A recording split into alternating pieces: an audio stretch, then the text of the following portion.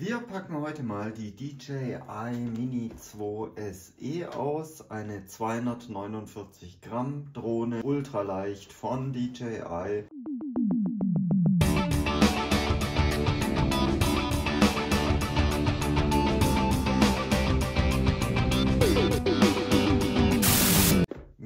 Verschiedenem Zeug, was auf der Rückseite steht. Hier haben wir einen Quick Link zur DJI Fly App. Ja, unten gibt es auch noch verschiedene Seriennummern und so. Also nichts Wildes und wir packen die jetzt einfach mal aus und schauen mal, ob wir damit direkt klarkommen oder ob wir da erstmal irgendwie ein halbes Studium für machen müssen. Open hier.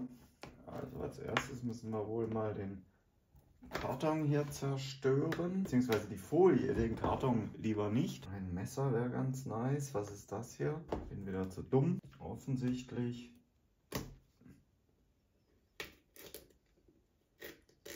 Ja, so geht's. Ja, jetzt habe ich leider doch den Karton ein bisschen beschädigt. Das war nicht die Absicht, aber so geht wenigstens die Folie ab.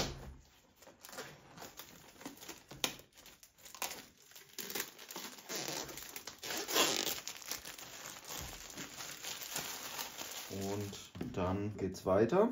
Open. Wie soll ich denn das öffnen? Ah, hier ist ein Siegel. Ah, jetzt hat es geklappt. Und hier ist die Drohne drin. Ich hoffe, man kann das gut sehen. Ich hoffe, das ist scharf. So, weiter geht's. Nächster Schritt. Wir haben hier so praktische Eingriffe. Da können wir die Drohne einfach rausholen und auf den Tisch stellen. Dann können wir dieses Inlay hier herausnehmen. Sagt man so? Ich weiß nicht. Und es geht weiter. Hier ist ein Karton drin.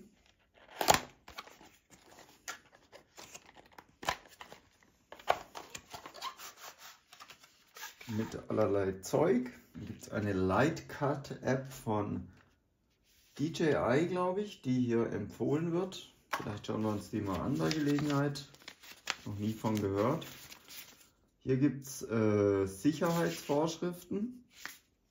Okay, legen wir auch mal zur Seite. Dann gibt es japanische Flight-Sicherheitsrichtlinien und so. Quick Start Guide, das ist gut. Ich glaube, wir werden hier wieder auf die DJI Fly App verwiesen. Text ist hier so gut wie gar keiner dabei. Lade die Intelligent Flight Battery auf, um sie dann vor dem ersten Gebrauch zu aktivieren. Aha, ah, hier wird erklärt, wie der Controller zusammengebaut wird und mehr. Das schauen wir uns gleich noch an. Dann haben wir hier unten tatsächlich auch den Controller. Da kommt das Handy rein. Den packen wir auch noch aus. Und dann können wir den Karton eigentlich mal zur Seite stellen, weil mehr ist da nicht drin. Nur noch so äh, Silit, Silitgel, Silika, Silikagel. Das ist toll, um Wasser irgendwie zu vermeiden bei Dingen, die kein Wasser vertragen. Dann haben wir hier eben verschiedene Anschlüsse, Kabel. Weiterhin haben wir hier, glaube ich, so Rotorschutzdinger oder Ersatzrotoren. Weiß es nicht genau. Und hier haben wir noch sowas wie ein kleines Werkzeug. Das war's. Mehr ist hier nicht drin. Ich denke, dieses Pappding kann dann auch weg. Dann packen wir als nächstes mal den Controller aus. Der ist hier in so Folie eingeschweißt. Ich hoffe, man kann das sehen. Ich reiße den einfach mal auf tatsächlich. Ja, und so sieht das Ganze aus. Hier mit verschiedenen Funktionen. Normal, Sinne, Sport. Dann gibt es hier den Ein- und Ausschalter, Schultertasten, Kamerataste. Das Ganze sieht so von oben aus, von hinten. Oh, bin gespannt, ob ich das hinbekomme. Hier unten sind die Steuerknüppel. Die müssen wir, glaube ich, selber anschrauben. Ja, ich bin gespannt, ob ich das alles hinbekomme. So, Die Schutzfolie kann weg. Dann werden wir als nächstes mal die Drohne begutachten bzw. sämtliche Aufkleber mal entfernen. Das wird spannend. So, das ganze Zubehör kommt jetzt mal in den Karton rein. Ne, wir lassen es mal liegen. Eventuell laden wir die Drohne gleich noch. Ich beginne jetzt mal die Drohne ja, aufzumachen, auszuklappen. Und da sind verschiedene Aufkleber, die wir entfernen sollen. Rotoren ausklappen irgendwie. Es gibt hintere und vordere Rotoren. Das hier ist der Schutz für die Kamera. Den hätte ich gerne noch ein bisschen drauf gelassen. Also wir haben untere Rotoren, wir haben obere Rotoren. Open the cover, press and hold the battery, release button and remove the battery. Die Batterie ist wohl hinten. Ah, das Ganze wird hier ausgeklappt. Einmal und zweimal. Einmal zur Seite, einmal nach vorne. Jetzt sieht das Ganze schon langsam eher wie eine Drohne aus. Ich weiß allerdings immer noch nicht, wie ich die Batterie rausholen soll. Aha. Gut, wir sind ein Stückchen weitergekommen. Gucken, was die Anleitung noch so bereithält an Informationen. Die Drohne liegt jetzt auf dem Kopf und sieht ausgeklappt so aus. So, die Batterie können wir entfernen. Das geht am einfachsten, wenn ihr hier an der Drohne, also ihr müsst erstmal dieses Dings öffnen und dann irgendwie den, den, den Schalter drücken. Ihr seht hier, wo der Akku genau reinkommt, an diesen Kontakt. Den sieht man hier auch am Akku nochmal. Weiß nicht, ob man das gerade erkennen kann. Da sind auch so Kontakte dran und so kommt das Ganze dann eben rein. Man soll vorher laden, also erstmal einmal vollladen. Ich hätte den Akku jetzt nicht rausnehmen müssen, weiß jetzt aber, wie es geht. Das ist schön und dann bauen wir als nächstes denke ich gleich mal die Fernbedienung auf. Lade die Intelligent Flight Battery auf, um sie vor dem ersten Gebrauch zu aktivieren. So, die Drohne ist jetzt entpackt sozusagen, ausgepackt und die muss jetzt eben erstmal geladen werden. Das Steuergerät packen wir so aus, dass wir hier die Steuerknüppel einfach rausholen und hier reinschrauben. Die sind hier einfach in so ein spezielles gummiartiges Material reingelegt. Das Ganze sieht jetzt so aus. Jetzt haben wir hier Steuerknöpfe und hier kann man jetzt dieses Teil ausfahren. Da wird das Handy reingeklemmt und dann kann es glaube ich auch schon losgehen. Hier sehen wir den Akkustand, wenn wir das Ding kurz anmachen. So, beide Teile müssen geladen werden, sowohl der Controller als auch die Drohne. Dann muss da irgendwo noch die Seriennummer drauf geschrieben werden. Das mache ich dann wahrscheinlich morgen. Gucken, wo ich die genau drauf schreibe. Wir bauen jetzt mal noch das Ladegerät zusammen. Da ist natürlich wieder keins beigelegt, sondern nur verschiedene Kabel. Das ist fantastisch gelöst wieder. Wobei eigentlich soll ja auch noch ein Ladegerät dabei sein, dachte ich zumindest. Anscheinend aber doch nicht. Und wenn wir die Drohne noch einmal umdrehen und uns die Unterseite ansehen, dann sehen wir hier den Ein- und Ausschalter sowie den Akkuzustand. Wir können die ja mal anschalten kurz und dann schalten wir sie auch direkt wieder aus, beziehungsweise ich glaube, die geht automatisch aus in diesem Zustand. Sieht für mich jedenfalls so aus. Das waren die wichtigsten Funktionen.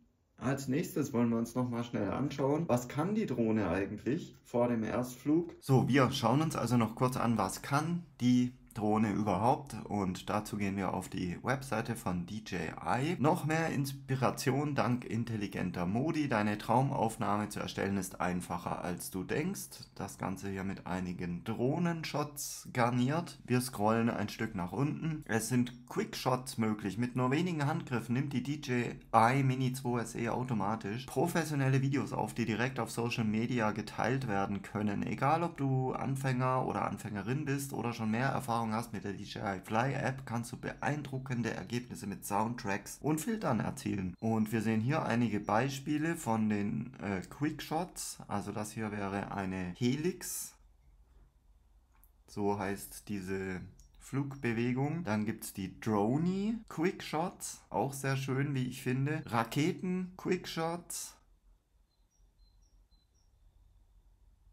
Man kann kreisen um ein Ziel herum. Vermutlich ist das immer der Steuerer, der Drohne, der Pilot und dann gibt es noch die Bumerang-Funktion. Außerdem können wir Panoramen aufnehmen, wähle aus Sphären, Weitwinkel und 180 Grad Panoramen und Mini 2SE erledigt den Rest und erzeugt mühelos und schnell ein Panorama-Meisterwerk. Hier haben wir die Weitwinkelfunktion, hier die 180 Grad Version und das hier wäre eine Sphäre, die ebenfalls aufgenommen werden kann. Lightcut, unzählige Luftbildvorlagen, intelligente und einfache Bearbeitung. Das ist wohl das vorhin auch schon angesprochene Schnittprogramm von DJI. Das gucken wir uns bei Gelegenheit vielleicht auch nochmal an. Das wird hier auch ganz kurz vorgestellt. Lightcut kann deine Luftaufnahmen erkennen, Highlights auswählen und automatisch bearbeiten. Diverse Vorlagen. Lightcut empfiehlt auf intelligente Weise Videovorlagen verschiedener Stile und fügt automatisch Musik und Effekte hinzu damit du mühelos ein atemberaubendes Video erstellen kannst. Leistungsstarke Gimbal-Kamera, erlebe deine schönsten Momente mit hochwertigem Filmmaterial noch einmal. Drei-Achsen-Gimbal, ein mechanisches Drei-Achsen-Stabilisierungssystem sorgt dafür, dass die Mini 2SE stets für stabile Aufnahmen funktioniert, egal wie abenteuerlich es wird.